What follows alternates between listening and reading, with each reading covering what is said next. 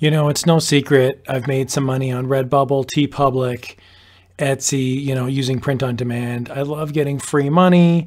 And, you know, I hope nobody thinks in this video I'm just going to be beating up on the ones I love. But, uh, you know, I think it's important to showcase things that are not perfect in this world.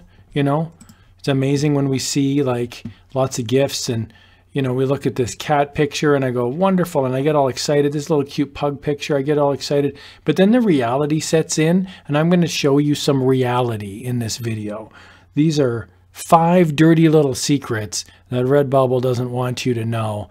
And now look, you might already know some of them, but let's be realistic it's time to get a bit nasty and a bit frustrated at the way the real world works in this episode. And hey, we can have some fun. We can all band together and go, yes, I'm not alone because I'm horribly annoyed by some of the things that Redbubble is doing. So let's go.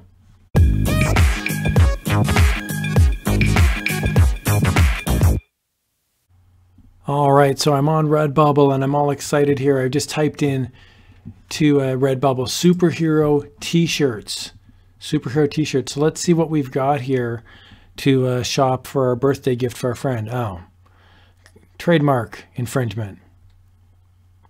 Probably trademark infringement. Trademark infringement. All of these are logos for superheroes. That's a phrase from a movie. Man, it's sketchy. Come on, man, that's Deadpool. Like, I mean, uh, Spider-Man, Flash, X-Men, I mean, you can argue some of these are parody, but I'm not seeing a whole lot of public domain in here. I'm seeing a whole lot. I mean, Mighty Mouse, come on, man. Like, and this is on the first page of Redbubble. Like, that's the part that kind of, you know, makes me angry. It's like, I'm a hardworking artist. I'm working Saturday night trying to upload designs to make some sales. And the front page is an obvious Disney design, an obvious Marvel design, an obvious DC design. And these are not licensed. There's no way these are licensed. Some of them are downright rude and nasty. I mean, do you really think we want to see a picture of Wolverine with his pants fold, pulled down? I mean, that's the first result on Redbubble. The Hulk, a naked Hulk with his butt staring at me. How embarrassing for Marvel.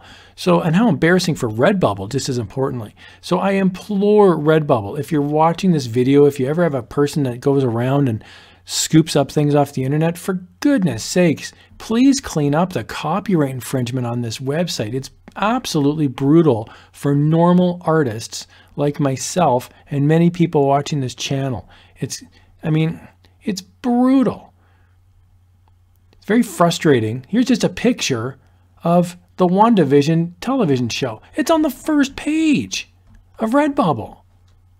58,000 designs, and this is in the top 40 or 50 designs? I mean, come on, man. This is just a straight up picture of Teenage Mutant Ninja Turtles. And it got through. Meanwhile, we're all getting busted for copyright infringement off of some obscure design that we didn't even know was trademarked. Anyway, rant over. Just be aware. We're all aware of this. The artists are really, really fed up with this. And, you know, what I would suggest is down at the bottom, you know, if enough people complain, I'm just going to go right down to the bottom and you can contact Redbubble. You know, there's copyright, there's contact us, you know, there's social. You know, if enough of us maybe complain to Redbubble, maybe this will get changed someday. I think it's an absolute embarrassment that Redbubble and TeePublic and other print on demand sites allow this to happen. They need to do a better job of policing this because I know they always throw their hands up and say, well, we're independent third parties. Yeah, I get it, but it's hurting legitimate artists like you and me that are playing by the rules and we can't get our design seen because out of the 58,000 designs the first page is taken up of almost all copyright and trademark, infringed items.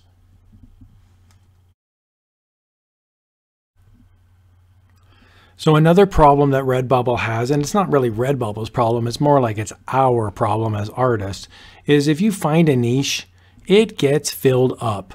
So I know I talk about trending niches and finding a niche and dominating a niche. I actually look for niches that are not trending. I know that's weird. I know that's the opposite of, you know, some advice you may hear on YouTube. And I've even given out the advice, hey, catch a trend and, you know, make a bunch of sales. I actually look for trends that are, I, I look for genres that are not trending. meaning I don't want other people to find out about them. So I actually go into micro niche and you know that's a strategy that people use. They look up really really tiny niches, little tiny towns that live near you know that are near them, little tiny genres of uh, you know of the world that they go okay nobody else knows about this. Here's COVID, 325,000 results. Can you imagine when this first started? Can you imagine when the pandemic first began and somebody types in COVID and gets back 12 results? And they're going, holy moly, gold mine much? Well, a year later now there's 325,000 designs. So whatever you type in, you know, if you type in, you know, governor of California, for example, and, you know, you've got 115 results. That's a pretty good niche. I'm telling you right now, that's a good niche. But it's probably not going to last because more and more people are figuring out people are angry at their governor or they're angry at their local politician or they're supporting their local politician. So whatever genre you can find, the dirty little secret is it won't last. You can't just upload 20 designs and then expect for the next 10 years a bunch of money's going to come rolling in. This passive income is really active income. I upload regularly at least 10 designs a week if I take the week off. Could be up to 50 designs a night if I'm really into it it's it's work. I look at it as a part-time job, right? So again, dirty little secret there that Redbubble is going to say, "Hey, upload 30 designs and sit back." No, it doesn't work that way. You have to be very diligent about continually finding new niches and exploring new trends as they come up, and they will not last. All right, the third dirty little secret that I want to talk about is the Redbubble Partner Program. Can I just say for like 10 seconds, this feels like we're standing like literally by the water cooler complaining about our boss. So like instead of Zen water cooler, this is like mean water cooler. So I just think this is hilarious. Anyway, hope you guys are taking this with a bit of grain of salt here. I like getting riled up about stuff. So this one's the Redbubble Partner Program. Now I've actually done a video, a couple videos about the Redbubble Partner Program, and I am a fan artist and I am part of the Redbubble Partner Program. However, i I'm frustrated by it. I'm a human being too. I've submitted design after design after design that gets rejected, gets rejected, gets rejected. It's a good thing I've got thick skin or I'd go jump off a bridge somewhere because I spent all afternoon designing Redbubble partner program designs and then they get rejected. So if you've never heard of this before, there is licensed Redbubble designs. You can do Rick and Morty, you know, Adventure Time. There's a whole bunch. There's check out the entire list of brands. Well, I mean, I've gone in and I've looked at this list of brands and I mean, it's it's pretty exciting to see. You know, I've looked at this brand list and it's pretty exciting. I mean, you look down here and we've got Alfred Hitchcock and we've got Chris Farley, Conan O'Brien, uh, you know, full frontal with Sam Bee, Kiss. I mean, good grief. I mean, I'm a middle-aged man. I mean, of course I love Kiss. I mean, good grief. There's a ton. Pan Am, Rick and Morty. You know, there's just a ton. And what happens is we get all excited. We start uploading designs like a madman, rejected, rejected, rejected, rejected. If you go into some of these partner programs and you actually look up the actual designs that got through, in some cases, there's hardly any. It's really frustrating. So I just wanted to let you know that because you know, I don't want this to just all be roses on this channel where you're thinking, oh man, you know, Zen Water Cooler's got it so easy. I mean, he's talking about the Redbubble Partner Program. He probably lives in a huge mansion and drives a yacht to work every day. No, I get my designs rejected just like you, and I think they're pretty darn good if I'm being perfectly humble. And it's a bit frustrating when they don't get approved. So just keep the course, stay the course. You know, and another thing I'll say, if I'm going to get on my little soapbox here, is Redbubble. If you're going to reject a design, at least tell us. Explain to us what the problem is instead of us just beating our heads against the wall and saying, sorry, it's been rejected. Now, we're not going to tell you why, but you stink. It's like, well, thanks a lot. Spent all afternoon working on this. So the fourth dirty little secret is just that some genres are completely full. I mean, if you go in here and you search cute cat, good luck. 480,000 results and, you know, obviously, wouldn't it be wonderful to be on the first page? But let's be real. I mean, I might as well just go buy a lottery ticket. If I type in cute dog, 449,000 results, and it grows every day. So it, it kind of stinks because if you're new to Redbubble, you want to upload a funny cat design or a funny dog design or some sort of popular genre. That's, you know, you go to bed at night dreaming that you're going to have like a really fun design.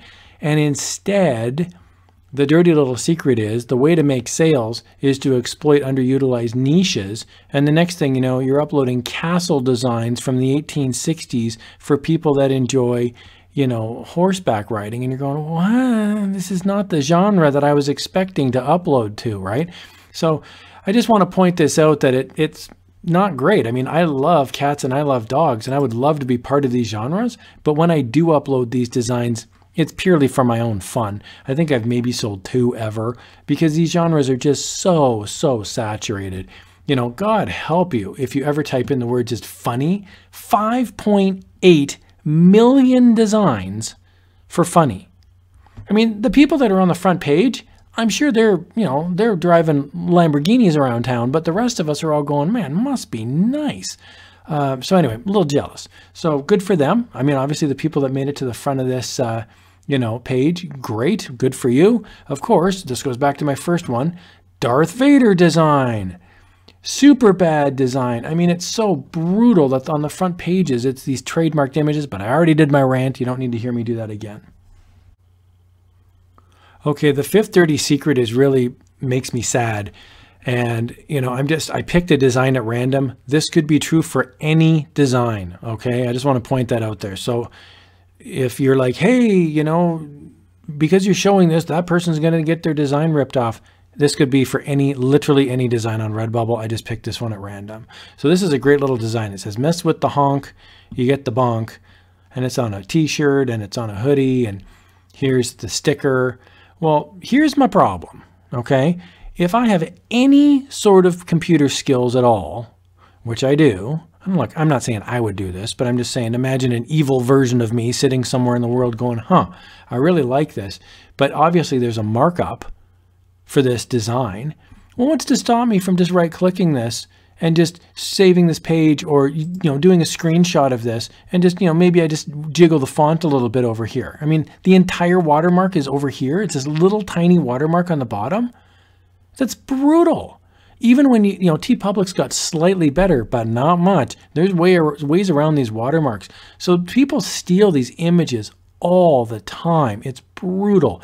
If you type in a popular genre or a popular phrase, you're going to get this literally the exact same result 5, 10, 15, 20, 100 times as you scroll through millions of results. You have to be completely vigilant that somebody somewhere, if they ever steal your design, now you're scrolling, you're spending your evening scrolling through designs to see if anybody ripped you off. I've had this personally happen to me. So I'm speaking here as a victim myself. This is our new victim support group meeting. Thank you for attending. You know, I've had uh, rel relatively popular designs just get completely stolen. And they just, you know, what happens is people save it to Pinterest. They then save it as a high quality JPEG file or PNG file. They run it through Photoshop and they just, you know, make the, the tiniest of alterations, or they just flat out steal the design. And if they don't care about the watermark and the watermark's maybe off to the side, it's as good as theirs. They can upload it. They can get it printed at cost. Their markup is zero. Your markup's one penny. Too bad. They'll sell it for themselves. That really stinks. So I wish Redbubble had a better watermarking of the designs. And, you know, TeePublic's a little bit better, but I wish they just had it like impossible or really, really discourage, you know, thieves from just right clicking or using a screen grab technology to take that information out. Uh, it really stinks for a hardworking artist like myself and for you as well. Anyway, I hope you enjoyed my rant. I have nothing of value to offer you in this except my sympathies and to say, you know what, Redbubble, we love you. You need to clean up your act a little bit. If you're going to be a legitimate player in the world for the next 10 years, we need to get this stuff under control. You know, it's a lot like Walmart or Target or a major supermarket. Imagine if you go to your favorite local store and there's people just walking out the door with skids of stuff they didn't buy. They're stealing it. You'd be like, hey, hey, you're not supposed to be doing that. Well, come on, Redbubble. You've got people coming into your store stealing our designs we need to work as a partnership here. We need to get this cleaned up. If you're going to be a force over the next five or 10 years, we need to get this stuff cleaned up. So I implore Redbubble, if you look, I don't know if they're watching this video, but I know as artists, we can always complain about this stuff to them. we can always voice our opinion and do the right thing. Don't use trademark designs. Don't be part of the problem. I know it stinks. You're playing straight and narrow while other people are taking shortcuts. I hope, hope, hope they will get caught someday. Anyway, thanks for listening to me rant. I absolutely, you know, love and, and appreciate you guys and all the comments you guys make on this channel. Thank you so, so much. And, you know, we are a community, we are artists, and, you know, we need to support each other. So, you know, thanks for watching. And, you know, I hope you found this helpful.